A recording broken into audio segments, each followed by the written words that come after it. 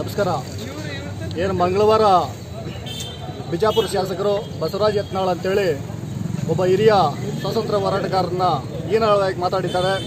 ಅವರು ಸ್ವಾತಂತ್ರ್ಯ ಹೋರಾಟಗಾರಲ್ಲ ಅವರು ಡಮ್ಮಿ ಹೋರಾಟಗಾರರು, ಅವರು ಪಾಕಿಸ್ತಾನದ ಏಜೆಂಟ್ರುಗಳು ಅಂತೇಳಿ ಮಾತಾಡಿದ್ದಾರೆ ಮಾತಾಡಿದರು. ಅದನ್ನು ಖಂಡಿಸಿ ಕರ್ನಾಟಕ ರಾಜ್ಯ ರೈತ ಸಂಘ ನಿನ್ನೆ ರಾಜ್ಯ ಸಮಿತಿಯಂತೆ ಕರ್ನಾಟಕ ರಾಜ್ಯಾದ್ಯಂತ ಎಲ್ಲ ಜಿಲ್ಲಾ ಕೇಂದ್ರಗಳಲ್ಲಿ ನಾವು ಚಳವಳಿಯನ್ನು ಮಾಡಬೇಕು ಅಂತೇಳಿ ತೀರ್ಮಾನ ಆಯಿತು. ಅದೇ ರೀತಿ ಇವತ್ತು ನಮ್ಮ ತಾಲೂಕಲ್ಲಿ ಅವರ ವಿರುದ್ಧ ಬಸವರಾಜ್ ಯತ್ನಾಳ್ ಅವರ ವಿರುದ್ಧ ಇವತ್ತು ನಾವು ಚಳವಳಿಯನ್ನು ಮಾಡಿದ್ದೀವಿ. ಅವರ ಫೋಟೋವನ್ನಿಟ್ಟು ಅವರ ಒಂದು ಬೆಂಕಿಯನ್ನಿಟ್ಟು ಅದಾಹನವನ್ನು ಮಾಡಿದ್ದೀವಿ.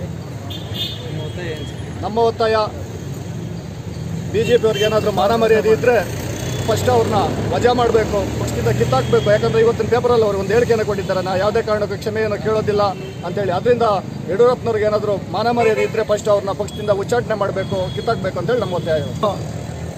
ಏನು ರಾಜ್ಯದಲ್ಲಿ ನಮ್ಮ ಹೆಮ್ಮೆಯ ಹಿರಿಯ ಸ್ವಾತಂತ್ರ್ಯ ಹೋರಾಟಗಾರ ಎಚ್ ಎಸ್ ದೊರೆಸ್ವಾಮಿಯವರ ವಿರುದ್ಧ ಬಸವರಾಜ್ ಯತ್ನಾಳ್ ಮಾಡಿರೋಂಥ ಕೆಲವು ಆರೋಪಗಳು ಅವರ ಒಂದು ಸ್ವಭಾವವನ್ನು ತೋರಿಸಿದೆ.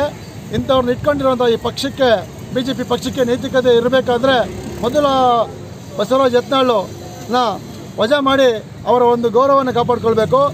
ರಾಜ್ಯದಲ್ಲಿ ಇರ್ತಕ್ಕಂಥ ಹಿರಿಯರನ್ನು ನಡೆಸ್ಕೊಳ್ಳೋ ರೀತಿ ಇದಲ್ಲ.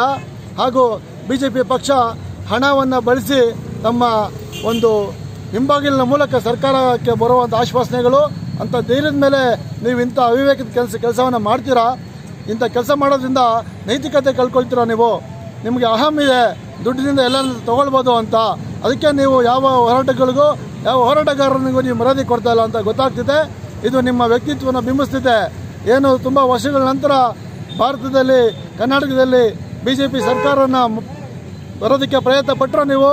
ನಿಮ್ಮ ಶ್ರಮವನ್ನು ನೀರಲ್ಲಿ ಹೋಮ ಮಾಡೋ ರೀತಿ ಮಾಡ್ಕೊಂಡಿದ್ದೀರಾ ಇಂಥ ಶಾಸಕರುಗಳಿಂದ ಇಂಥ ಹೇಳಿಕೆಗಳು ನೀಡೋ ಮೂಲಕ ಇನ್ನಷ್ಟು ಹೀನಾಯ ಸ್ಥಿತಿಗೆ ನೀವು ತಲುಪ್ತಾ ಇದ್ದೀರಾ? ಇದನ್ನು ತಕ್ಷಣವೇ ಈ ಬಸವರಾಜ್ ಯತ್ನಾಳ್ನ ನಿಮ್ಮ ಪಕ್ಷದಿಂದ ಉಚ್ಚಾಟನೆ ಮಾಡಿ ಆಗಿರುವಂಥ ಅವಮಾನವನ್ನು ಎಚ್ ಎಸ್ ದೊರಸ್ವಾಮಿ ಅವರಿಗೆ ಕ್ಷಮೆಯನ್ನು ಬಹಿರಂಗವಾಗಿ ಕೇಳೋ ಮೂಲಕ ನಿಮ್ಮ ಪಕ್ಷದ ಶಾಸಕರಿಗೆ ಬುದ್ಧಿ ಹೇಳಬೇಕಂತ ಹೇಳಿ